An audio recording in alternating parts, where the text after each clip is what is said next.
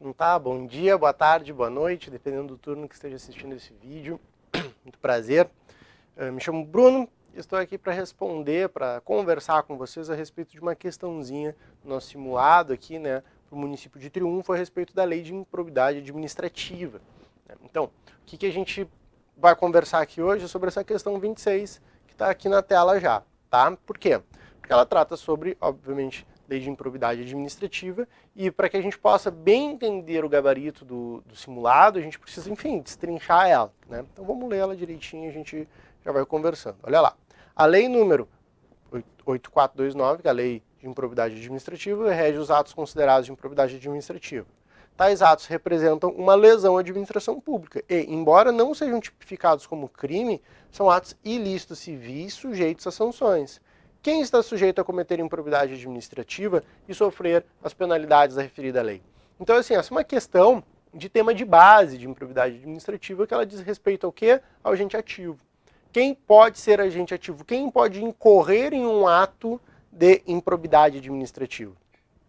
E essa resposta tem que estar na ponta da língua de todo mundo. Tá? Essa é uma resposta que já está ali no comecinho da lei e a gente vai tratar sobre isso agora. Vamos dar uma olhadinha lá na lei para a gente já ir tratando disso. Ó. Artigos 1 desculpa, 2 e 3 Artigo 2 Reputa-se agente público, para os efeitos desta lei, todo aquele que exerce, ainda que transitoriamente ou sem remuneração, por eleição, nomeação, designação, contratação ou qualquer outra forma de investidura ou vínculo, mandato, cargo, emprego ou função nas entidades mencionadas no artigo anterior. Lembrando, o artigo anterior, artigo 1 tratou sobre o sujeito passivo né, da, dos atos de improbidade administrativa. A gente não vai repassar agora porque não é relevante para a resposta da questão.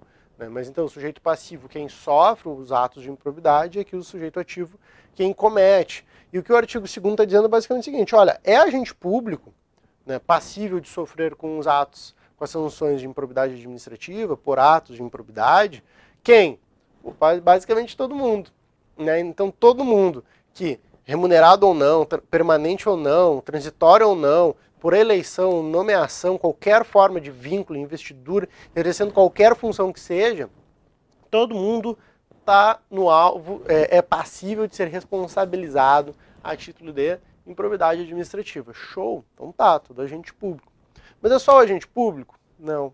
E essa é uma coisa que é importante a gente ter em mente, porque o artigo 3 diz também, ó, as disposições desta lei são aplicáveis no que couber aquele que, mesmo não sendo agente público, induza ou concorra para a prática do ato de improbidade ou dele se beneficie, sob qualquer forma, direta ou indireta. Então, qual é a interpretação a ser feita do artigo 3 Que também é sujeito ativo de ato de improbidade administrativa o particular. O particular ele também pode incorrer em atos de probidade administrativa, desde que induza ou concorra. Então vejam, a grande questão é o seguinte: o particular, tanto quanto o agente público, ele é passível de incorrer em atos de improbidade administrativa. Contudo, o particular não pode incorrer em atos de improbidade administrativa sozinho. Ele precisa concorrer, ele precisa concorrer com alguém ou induzir alguém. Então, essa é a única diferença, que o particular sozinho não incorre em atos de improbidade. Isso é um tema bastante recorrente na jurisprudência, inclusive. Não raras vezes, um particular é responsabilizado por atos de improbidade administrativa e ele vai ao judiciário para se defender, dizendo: olha, está eh, tudo muito bem, mas olhando aqui o relato dos fatos que me são imputados, não tem um agente público envolvido aqui. Então, o que eu fiz até pode ser um crime, pode ser um civil, um, um, um, um ilícito que incorra em um dever de reparação, mas não um ilícito de improbidade administrativa. Show? Bom, com esse conhecimento, responder a questão agora vai ser fácil. Porque então vamos lá. Quem está sujeito a cometer improbidade administrativa? Funcionários públicos desde que concursados. Falso. Porque não é desde que concursados, a qualquer título, lembram? Nomeação, qualquer vínculo que esteja lá, eleição, né? qualquer vínculo possível. B.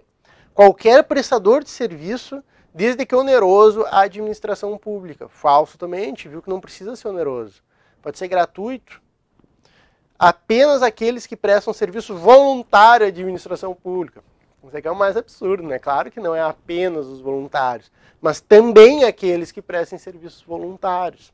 Né? Também eles, mas não apenas eles, claro, né? D. Apenas aqueles que exercem cargo de chefia. Claro que não. Qualquer agente público, a qualquer título, que tenha qualquer vínculo, que exerça qualquer cargo. Lembram? Então, também não. E aí a letra E. Qualquer pessoa, servidor ou não. É isso mesmo. Qualquer pessoa, servidor ou não, é passível sim de ser, se ver sujeita às, às disposições da lei de improbidade administrativa. Tá bem? Então, resposta certa, resposta E. Então é isso, gente. Aqui dominou o sujeito ativo, está resolvida a questão. Tá bem? Obrigado a todos, eu fico à disposição e desejo bons estudos. Até uma próxima. Tchau, tchau.